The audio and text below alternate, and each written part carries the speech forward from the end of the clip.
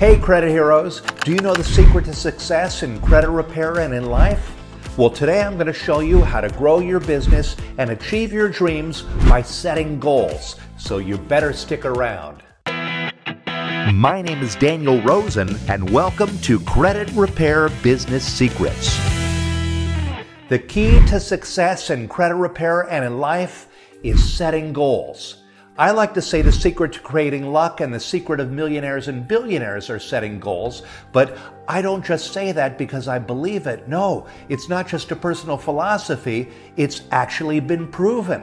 As crazy as it sounds, a Harvard Business Review study found that 83% of the population said that they didn't have goals. 14% said that they had a plan in mind, but their goals aren't written down. 3% said that they do have goals and their goals are written down.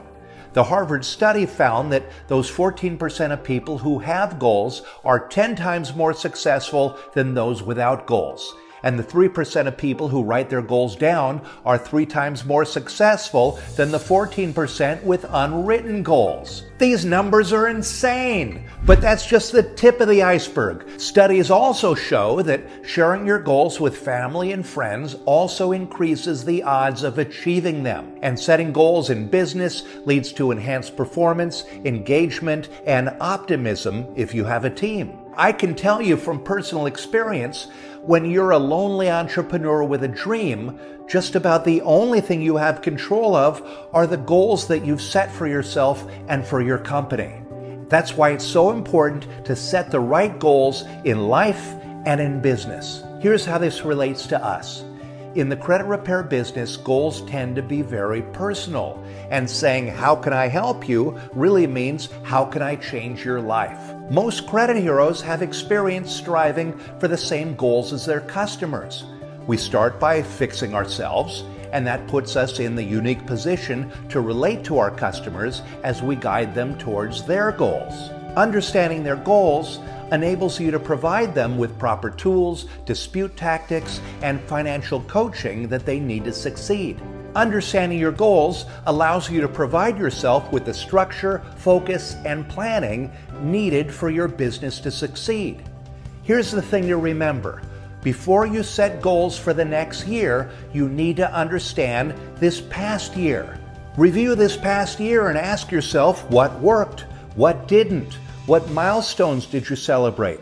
What failures did you learn from? Think about it. If you had to do this last year over again, what would you change?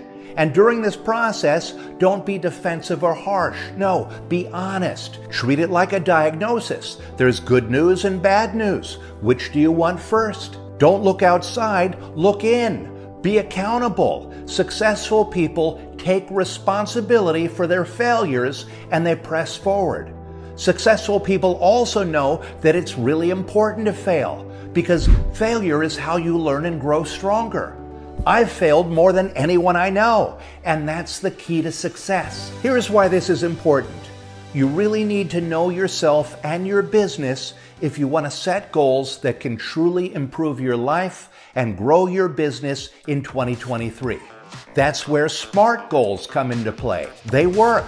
SMART goals stands for specific, measurable, achievable, relevant, and time bound. SMART works for me, and I know it can work for you.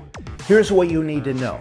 When you're ready to write your 2023 goals, grab paper and pencil and answer the following questions. Specific. What is the accomplishment? What actions will you take? What exactly changes? Measurable. How will you know when you're making progress? What data will you use to measure success? Achievable. Is it realistically doable? Do you have the necessary skills and resources? If not, what do you need? Or whose help do you need?